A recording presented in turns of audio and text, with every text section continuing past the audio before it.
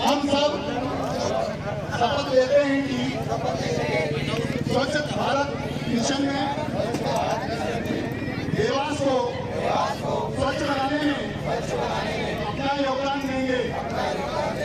Single use plastic का उपयोग हम नहीं करेंगे।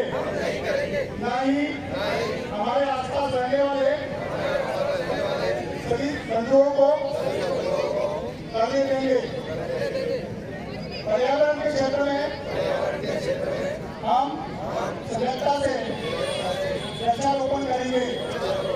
जल संवर्धन के लिए जल अपने रोकेंगे।